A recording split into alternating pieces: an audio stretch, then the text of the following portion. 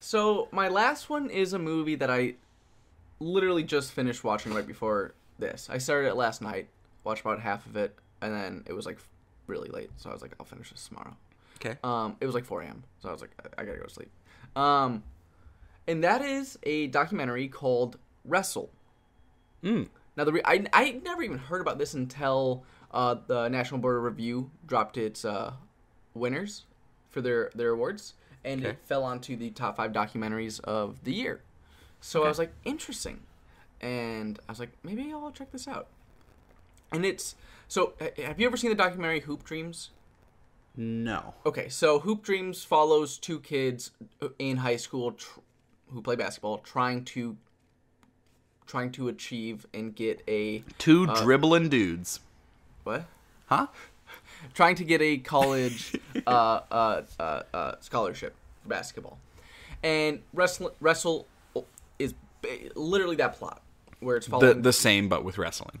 Yes, where it's following four kids in one of Alabama's worst high schools, like literally uh, the worst, high, like one of the worst high schools. Um, and each of these kids has like a fucking really sad life, like a really like sad childhood, even though they're still children, and like the things that you are witnessing happening in their life as the documentary unfolds reminded me so much of Minding the Gap. Um, so much so where like one of the kids just found out that his girlfriend's pregnant and you kind of watch that all happen during his senior year of high school um, another kid you you i mean two of the kids you see like it's so crazy seeing their they so they've run ins with the cops. Mhm. and it's just like crazy to think because like there's this documentary film crew right here which is probably like one or two people right? Probably Yeah. two people. And it's like they're just there right on the side of the road as somebody's getting arrested that they were probably like in the car with. Um Damn.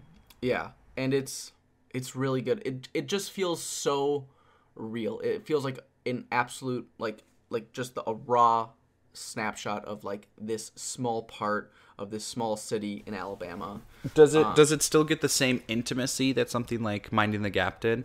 Yes. Yes. Okay. I this is in my mind like right next to Minding the Gap. I think Minding the Gap is obviously a more personal story because it took it I mean it was filming for 15 years or whatever, you know, where the kid who filmed it filmed it throughout his entire childhood. Well, and it's his it's his very close friends, you know. yeah. But this like I mean this He's a thing has yeah this thing has just such raw moments where it's like i mean the one of the one of the characters is like definitely probably bipolar uh and he has like like very intense like mood swings you know and like i mean he like fights literally like right in front of the school with the coach and it just feels like super real where like you're watching and you're like i don't know what's even gonna happen. Like i don't know if any of these kids are gonna graduate. I don't know if these kids are gonna make it to the end of the documentary before being put into jail because of something.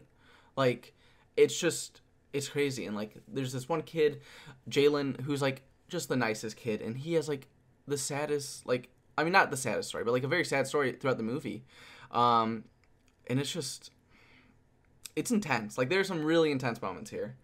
And the the I mean it's it's crazy because it's called wrestle. You know, it's about wrestling, but the wrestling kind of just feels like this backdrop for to like show these kids like trying to pursue something and trying to get that you know college scholarship. Um, it's really good. it's really good. Damn. Yeah.